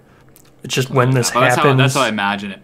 It's also it also shows you Clash of Sky Kings actually happens one year earlier on the timeline than that Meteor Storm Yeah. Suicidal Kings happens. So I guess yeah, it could. Uh, I'm kind of like convincing myself out of my own argument, but um, yeah, I think the the Death World rules like that was introduced as a system in that kind of overview, right? These Death World rules will really outline how how players are supposed to interact with the campaign cards, node cards, synergy cards, Yeah. pillar I cards. assumed- like it's it's a whole thing. It's a whole big system, right? Yeah, I just assume the synergy deck here, all these cards will be on the back, which is synergy, and then you'll just, when you're done building your campaign, you'll look through your synergy deck and go, hey, I've got this. Time to do this. This is insane Yeah, artwork. Uh, it really highlights how a Dragon King flies. I have no idea. Those wings would never carry. Did you uh did you did you see that this the Sunstalker's tentacle is like ripped right through the Dragon King's? Oh yeah, yep. Yeah, that's cool. I never noticed that before. but Yeah, Dragon King's not not doing well here. yeah. I don't know Just how like it is. a husk anyway, so Yeah. So then this shows the Sky King armor, which is so cool. Sky King armor is really cool looking. Um, I don't know how it is you'd make it, but whatever. it's totally cool. Um, here's another synergy card. We had the Flower Knight and Slenderman. This is probably uh the dark art the what is it called? The dark the, whatever that dark helmet guy is. what is that uh what was the name of that armor? Dark Flower. dark flower armor. That's probably what that is. There's probably some sort of event to build it. Uh i don't know. I just don't, i don't know. You'll probably get some sort of something for eve right because her the vespertine indomitable thing who knows I think this is actually Flower Knight's POV because it's inside the fairy ring, but the fairy Oh, ring's yeah. all wilted and like he's he's not gonna be or it's not gonna be very happy, right? Like yeah it's like watching its last flower and probably this is gonna oh yeah die or something like that. So Yep. Then we get the uh, concept art of, I guess, more synergy story intros, like Sky King. So I'll just go left from right for people that are flying around. The first one is People of the Wise One and Sunstalker. It's called Language Master. Um, kind of implies that they're gonna get a lot of access to language or something, sun language, dream language, dragon speech. The next one over is People of the Valley and Dung Beetle Knight. Mushroom Frenzy. This one makes sense. You know, Dung Beetle Knight loves mushrooms. Lots of mushrooms. Uh, People of the Polished Mirror Stone and Gorm. This one's Mammoth Master. They're just barbarians, like taking over mammoth monsters. Maybe you'll only be able to fight like three by threes and up. Uh, Butcher and Lion King. This is tragedy. The artwork shows the butcher killing either Ash or Sam or Ryan, which is actually very sad. Um, and this would obviously really upset the Lion Knight, or did I say Lion King? Yeah, Lion Lion Knight. Um, so those are that's his troop members. So they're obviously very important to him. Uh, the next one is uh, Kingsman and Lion Knight. Unexpected aid. The Lion Knight is interfering with the Kingsman attempt to call a settlement. Um, either because the Holy Lands are counter to the, the scribe, or more likely he probably just needs survivors for his play. uh, Gorm and Slenderman is Black Acid Rain, which just makes sense. Gorms make rain, Slenderman makes black water or something. Dung Beetle Knight and Sunstalker Eclipse. This one's pretty interesting. It's it it's very reminiscent of the silhouette artwork from the Dung Beetle Knight uh, rulebook, The Yep. Rumbling in the Dark. White Lion and Manhunter, Trained Lion. This is some of the original lore for the Butcher, so it's awesome to see this kind of come full circle from like over a decade ago now. Um, yeah, I really like that one. Uh, People of the Sun and Gorm. I don't know. I can't read what this one's called. It's very hard to read, but this looks to be the event that lets people of the sun craft the bone katana using Gorm bones. Uh, Lion Knight and Lion God follow the Silver City. Um, I'm still in the belief, lore wise, that the uh, Holy Lands were not involved with the Silver City, so we have to wait to see if this one comes out. That's like a common fan speculation. Um, I just think that this kind of shows like the same fiery gas effect that shows when stories are being told. Like you see the physical Yep. manifestation of the story. So I think it's literally just the Lion Knight telling them the story of the Lion God and the Silver City. Yep. You can see Ash really Ryan and think he has Sam are helping anything to do him. They're holding up pieces and stuff. Yeah, they're like helping him do his little play. Cool though. Like I love when they show artwork of like stories in physical space, I suppose. Um, we've got Phoenix and Flower Knight, Eternal Bloom. This is Phoenix's dung using time properties to make everything grow super well. So the Flower Knight's probably like loving that. Complete opposite of the Slender Man and Flower Knight synergy. Um, we've got Dragon King and Spidicules, radioactive spiderlings.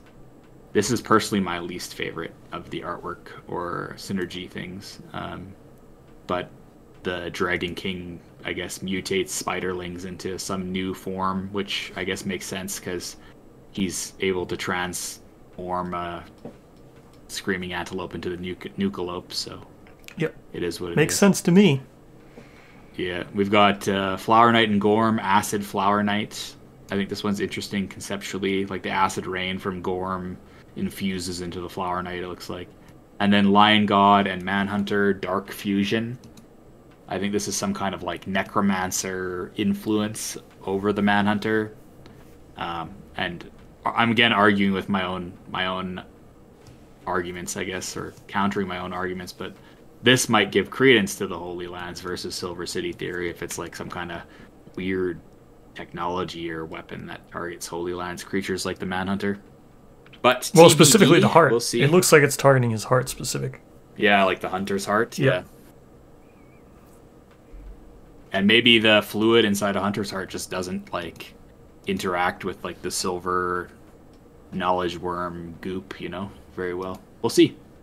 But very cool. Like I really like these interactions between monsters. It adds a lot of depth to the world, um, and they have literally so many ways to explore this between different combinations of monsters. It's wild. Yep, definitely. It is. It is really cool. Next, we have the strain system. This one is interesting because it says now we can formally bring the system to its proper home and introduce new strain milestone cards to further enhance the reward your Kingdom Death Monster life, or and, and reward your Kingdom Death Monster life from campaign to campaign. We selected two no cards to share here to illustrate our design point without spoiling without spoiling too much. So this is the Supernova strain. This is Milestone Condition Complete the Dying Done campaign. Uh, teeming blobs roll merely through pools of their own prismatic vomit. The culling never comes. Heedlessly, they dart and ripple, scattering along the beams of light, reflecting off the gleaming stone. Add Infant Sunstalker to your Node 3 Quarry deck. And this was the card that was shown up before, where you'd get the Lantern Year 4 intro event to hunt the infants, which the Urgent Carekeeper or something. forget exactly what it was called. Yeah. But this very basic strain, this is almost like exactly what we expect now from strains. It's like not even like that big of a alteration here. Then you get the mile, uh, wise one strain, which is just your campaign ends, your settlement has a leg ball innovation. That's pretty much it. Then you can add the wise one campaign card to your campaigns. Interesting. Yeah, I think this is a great way to grow out those campaign systems. Any system really can be affected by strain cards, and you talked about this before, like how Echoes of Death Four kind of um, shifted how strain cards are even going to work in general. Like it's Yes. not so much um, like a how would you phrase that? Sorry. no longer going to be checked during the check milestone phase. It looks it looks like they're more instant, instant trigger. Um, so this is, includes CC rewards for all of the expansion of Death Volume 1 monsters. We had talked a little bit in the Black Knight video about Nemesis monsters, so it'll be interesting to see if we get um, CC reward cards for Butcher and Kingsman in Hand. Uh, yeah, only time will tell. So leading into that, we've also got Scout support. So we see that we're going to get Scout tablets for all the monsters as well, as well as some Scout discovery cards. So we get the Dung Beetle Knight tablet, um, which gives us the counter spin ability. When you're on the left side of the Dung Beetle Knight, you may spend one survival to spin in place and ignore a baller. How valuable do you think that is? Uh, how valuable do I think that is? Counterspin itself, not very valuable. Uh, it's okay. Um, so we'll also get Scout Discovery cards. Um, there's an image shown in here that's very strange because it says, "Ooh, what have we found?" And it's not of any existing monster, not any existing quarry monster. I should, I should. Yes. Okay. Rephrase. Yes. My personal opinion is that this represents a troll bird, That's, which yes. is uh, currently a hunt event. I agree Um, with so you. So it is an existing monster. Uh, we had also talked about the potential of this being some kind of weird, like hybrid monster. It's kind of Yeah. got teeth on the inside of its hands. It could be like some mixture of screaming antelope and phoenix. But I really think that they're just going to extend scout discoveries to events that occur outside of the hunt, which I think is cool. Gives us a chance to see things like cancer pigeons or um, like the needle-beaked birds or whatever, mad flies, stuff like that. Like other other parts of the ecology of Kingdom Death that we only really interact with um, narratively versus visually, I suppose. Yep, I agree. Next, we have the Wanderer update. So this is all interesting. Starts with Candy and Cola. So this is where we actually see more Wanderer books. We've seen them before in um, with luck, obviously in Gambler's Chest, but they seem to all follow the same thing.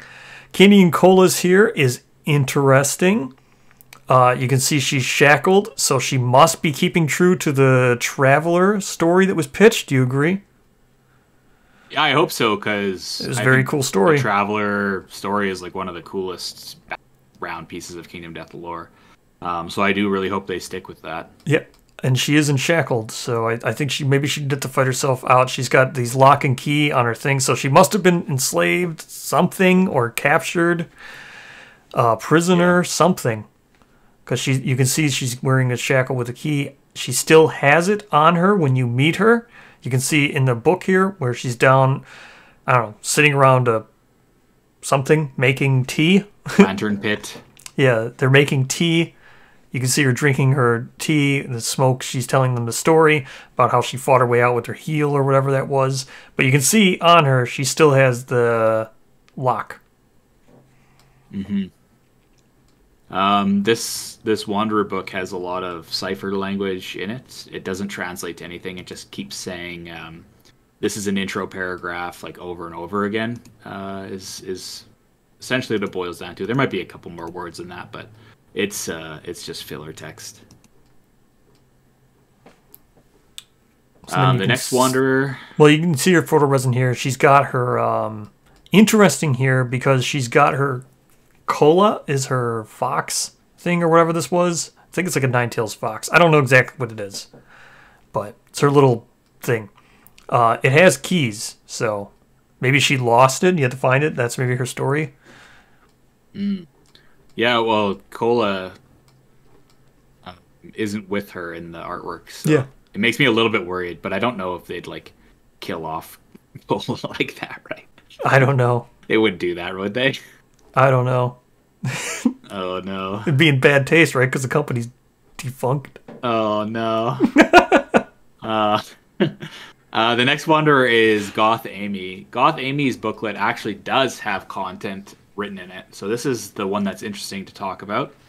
Um, the intro paragraph there, the the roll results are too small to translate, but the intro paragraph says a buzzing sensation in her core guides her footfalls in meandering spirals through the darkness. Her mind is trapped in an airless husk and is drowning. She is not alone, but the others are dead. Still, they reach for her. A glow in the distance brings her back to her aching body. A stranger emerges from the darkness.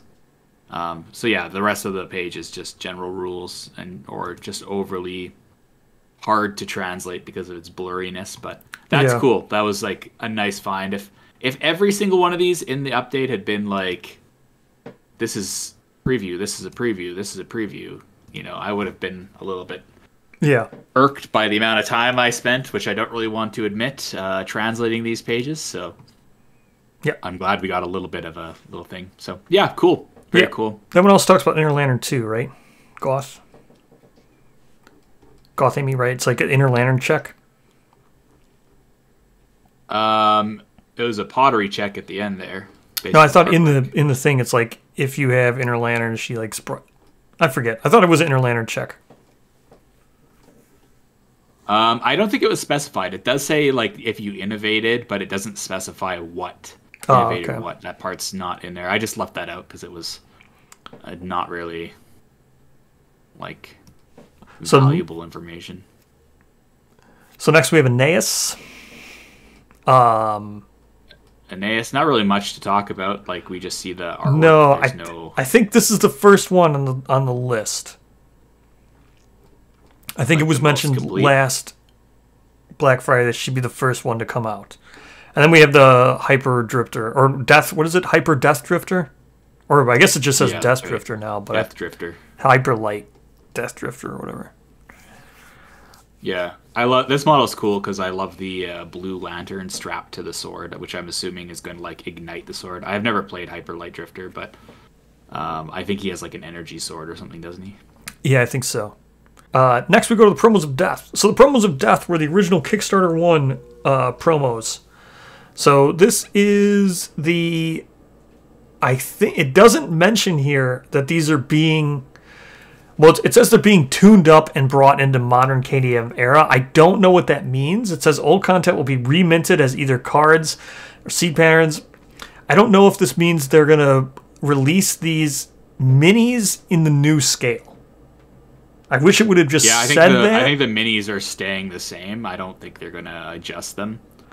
Um, but yeah, just the content. So like beyond the wall, instead of having the two gear cards, is gonna be two seed patterns and two seed pattern gears now. Correct. So, and all this stuff will be in the card pack. Yeah. Some cool stuff, like we get a legendary card with snow. Um, that's Yep. new content. Twilight Knight becomes a pillar card that's shown off. Like the Hooded Knight gets added as a as a milestone.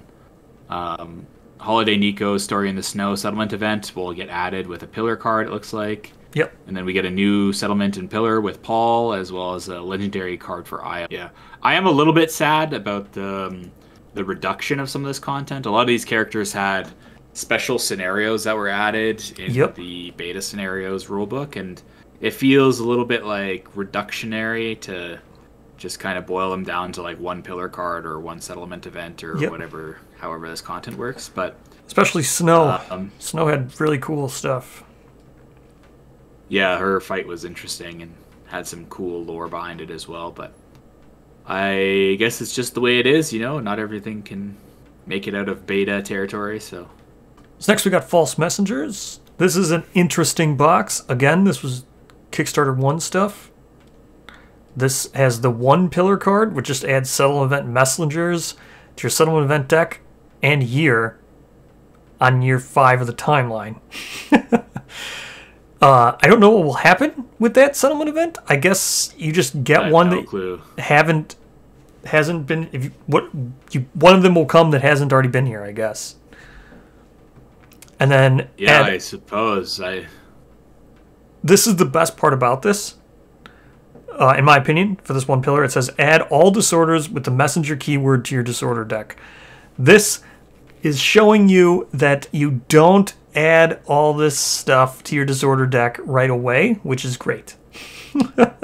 Yeah, those cards might have like the excluded card symbol on them Yeah, as well. hopefully they do. So don't don't add them until they're they're requested to be added. yeah, But, yeah, again, like just like the promos of death box, like all these false messengers had beta scenario Oh, yeah. of events that they did, showdowns or special really they're just showdown scenarios. Um, so to boil them all four of them down to like one settlement event card, um, I am curious to see how it how it how it. Yes, this it one I'm out, more understandable of. I think. Uh, I don't. I think. I don't even know if are these the original minis because these look like they have custom bases. Did the I thought the original minis did Um, not. Have these are the original minis. Yeah, Oh, okay. No, they did. But yeah, And again, it's awesome that these are included in Legendary Card Pack 2 because that's going to really cut out FOMO for people that already have them. I'll probably pick up both of these box sets because I don't have any of these miniatures. Most of these miniatures I don't have. Um, so, Next, we have the Super Survivors, which is a vignette of death. So this is a pillar. Uh, this was a promo thing. Now it's been just downscaled to a vignette. Now a vignette of death. Uh, Platinum Dung Beetle Knight in a Savior's Dream as Super Survivors. Enter a pillar card, which can bring survivors or bring saviors into any campaign. Next, we have the Silver City update. This one is super interesting. this one was like kind of out of the blue, hey, because they didn't really talk about any of the like uh, expansions of Death Volume 2 stuff in the rest of this. I agree. just like Silver City and Abyssal Woods, like, here you go. Yep. Uh, but my boy Leaping Octopus gets a shout out on the crest, so I am 100% for this. Yep. Um, I did just notice a kind of interesting detail, though, if you want to talk about it quickly. Yeah. What? Is in this crest, it shows the actual Silver City in the background, right? Mm-hmm. The Silver City shares a lot of design traits with the Smog City in Gambler's Chest. Do you think? I'd have to look again. I can't. Remember. Do they have domed? They've Built got like roofs? this dome shape with these candle glowing like points above them as well, same way. Interesting. Some something to keep an eye on. So next we have the silver relic armor update, and it just shows. sick. Yep. Uh, no idea what this is, but It's such like a Dark Souls armor. yeah, I have no idea what this even is. But I'm assuming you can make this from a lion god. So uh, making lion god have an armor set is good. Good in my book. Then we spoopy bone eaters. Yeah, actually, that armor. I'm wondering if it's gonna like the arms are like maces, right? So Mm-hmm. I'm wondering if the the arm armor is gonna also be a weapon like a club and locked or something like that. Like you're not able to use other weapons while you have this. I just realized this spoopy bone eater here. He got broke coming home from Gen Con, I guess. Oh yeah, you can see that. Yeah, that's the problem with these resin minis. There's This your boy not going on leaping octopus. Yep, there he is, my boy. So- um, and then we see that uh, in the Abyssal Woods expansion, uh, we're going to get the Lotus as a Nemesis, uh, Node 1 Nemesis. This is a change, I think. Um, originally, it was supposed to be an encounter, Encounter, monster. But this model's actually really, really good. Oh, too. yeah. And this was some of Lorinda Tomko's art artwork, so uh, I'm I'm fond of it. Next, we have the Q and A. There are a lot of questions here, but this is again another time in which second second edition is mentioned. Yeah, the second time that second edition Kingdom Death Monster was mentioned this year. Yep. Um, so I really think that Kingdom KDM second edition is is coming. It's probably in the works, like with updated monster sculpts and like bringing back a lot of these these systems and concepts that they've introduced into the game recently, and really like fixing or maybe not fixing, but bringing the core game up to like where the rest of the game is now. Especially after campaigns of death, I think it'll be really necessary. So when we'll see that, I don't know. I don't think it's a joke anymore though. Like the first time, yeah, it's like okay, funny joke, Adam, but the second time it's like okay, okay, Adam. but yeah, it's gonna probably be if if it's released, that'll be an expensive expensive box. But yeah, new encounter monsters as separate releases, I'm all for that. I think the game has a lot of room for a lot of different encounter monsters. I'm I'm very strong proponent of that. So giant crab spiders is cool. Earlier in the first video, we talked about how Adam had mentioned hissing cockroaches as a monster being tooled. Mm-hmm. So I am curious if maybe that's like shifted from hissing cockroaches to giant crab spiders, or like they're just some kind of generic large insect that can be fought. Yeah, giant crab spiders, very cool. Um, there was a question asking about philosophies and campaigns of death, which Adam said no. There's not going to be any. Um, so if we are going to get core philosophies for some of these new campaigns, uh, like the people of the Wise One, people of the Valley, people of the Mirrorstone, they'll probably they're probably going to end up being sold separately, like Starbound and Heliocentrism have been for people of the Stars and people of the Sun. Correct. Um, yeah. So, question about um, some of the other monsters in the game getting indomitable resources, uh, but it was confirmed in a later question that yeah, screaming antelope and white lion would be getting indomitable resources. So I can, I think we can expect them for most, especially with the Vespertine pole axe or pole arm um, included on the Eve model. So we should be getting probably a couple for each monster, I imagine. Fade and Percival white box reprints are coming this year, probably alongside the release of Black Knight and Frog Dog. Um, Percival would make sense to release with Black Knight because their content is pretty related. Fade might be this this year, might release later on with the uh, Red Witches. I don't know. We don't know when those will be coming out in the end. Somebody asked the question about the release of the Wet Nurse as a monster, and Adam said, "Is the world ready for the Wet Nurse?" Me personally, yes, I am ready for the Wet Nurse. Please produce that as a monster. That's what got me into Kingdom Death. So um, I'm really uh, happy to would be happy to see that as a monster. Um, so we're almost at the the ending of the the update. The next part was the new philosophy. Yes, the new philosophies. These were available for pre-order. Uh, two of these are core, and one of them is Gatherism, which was yeah. I don't I don't think it says it here, but I think Gatherism said it was a tier two on the backer kit. I don't have the link to the backer kit anymore, but Um, these booklets also had some ciphertext. Unfortunately, when you translate these, it just says this is an intro paragraph, this is an intro paragraph, etc., etc. So no new information from that. I do have to say, like the artwork in these, so good. Like the heliocentrism artwork that they showed, especially, I love that. That's that's so sick looking. Um, I also thought it was interesting. The heliocentrism art also shows like samurai or like a variant of samurai from the generic line. yes, And then yeah, and then Starbound shows the Dragon Slayer from the generic line. yes. So it makes me wonder if they're going to introduce some strain um, fighting arts like through these philosophies. yes, this Uh, is a that- variant that, of really out samurai. me, yeah.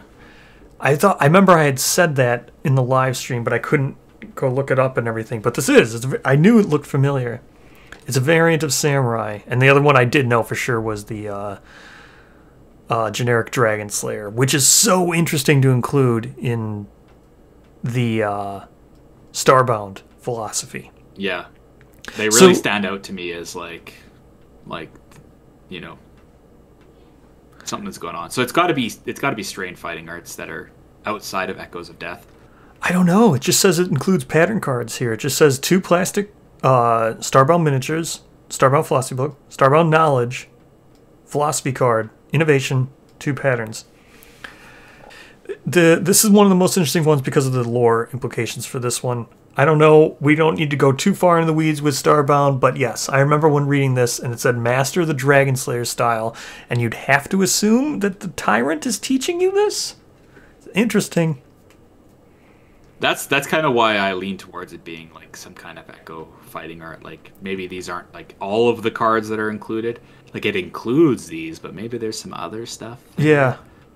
um, like the two times miniatures, right? Like we've got, they're showing art for some people of the stars guy dressed fancy, but then also the dragon um, sacrifice, but also Yes.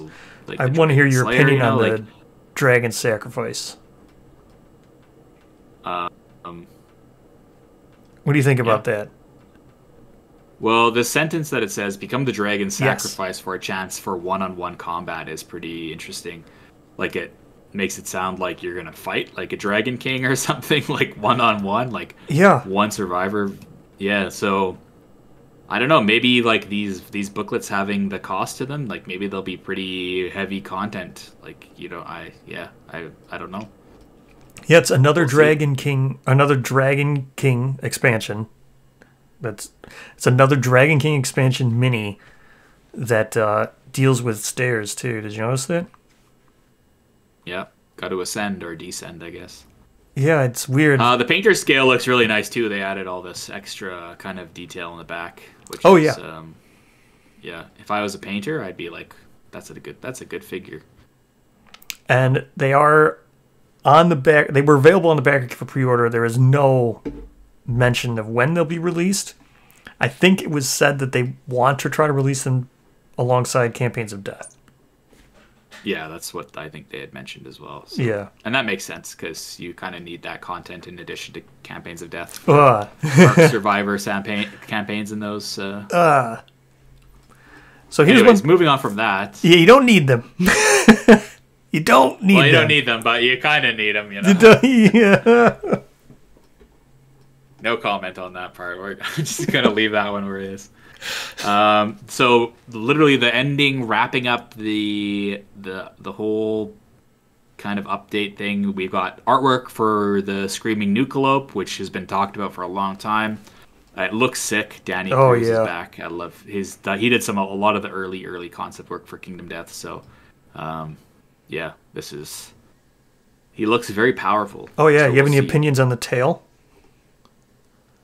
The tail it reminds me kind of of uh, Or- Lion God a little bit, but I mean, I'm assuming it's this is it's just not a bushy tail because its flesh is rotted off from the radiation. yeah, like a ta- tapeworm or something. Yeah, that's what I'm thinking. I don't know. It's so interesting because there's no yeah, the like- story behind this was the playtesting team had spent like a ton of time building a nuclear scythe Mm-hmm. from Dragon King, and then it immediately got eaten by a screaming antelope. So they were like, "That's an awesome opportunity to make like a strain card." Um, so that birthed the the screaming Nukalope.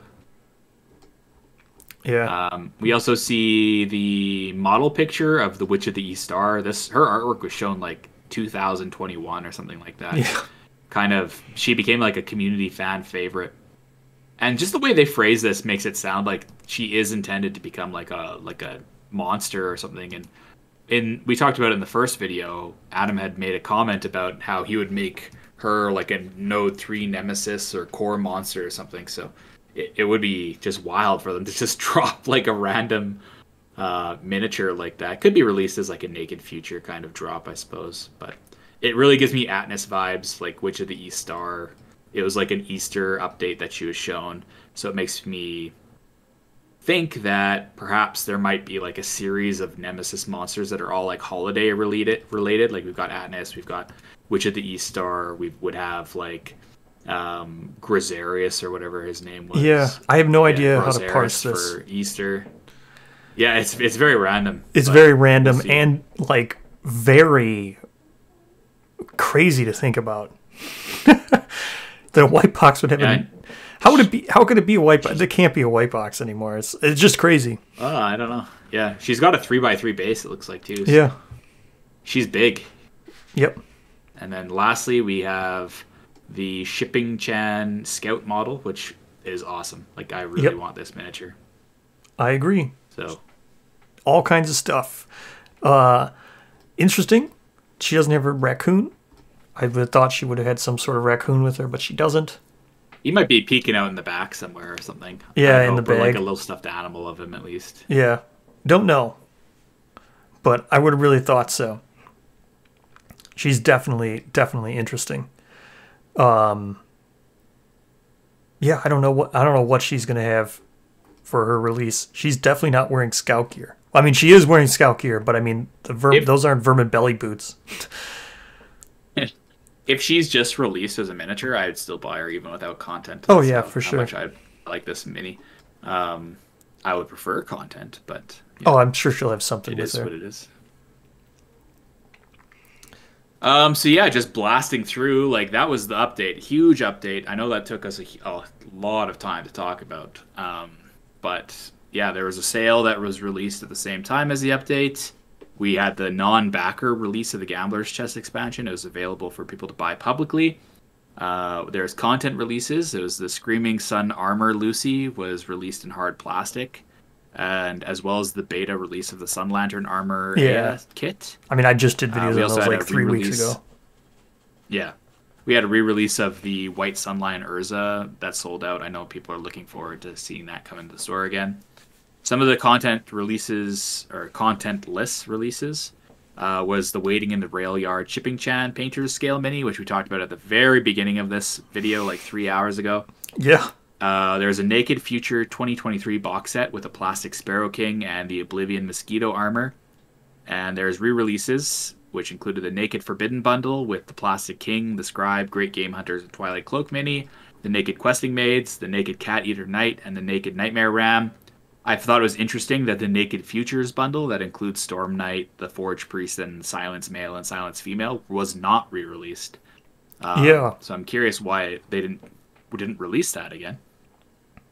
Well, they Um, did a and different futures you- bundle, so they probably only may want to limit it to one at a time on the shop Yeah, maybe, but because they're not cheap.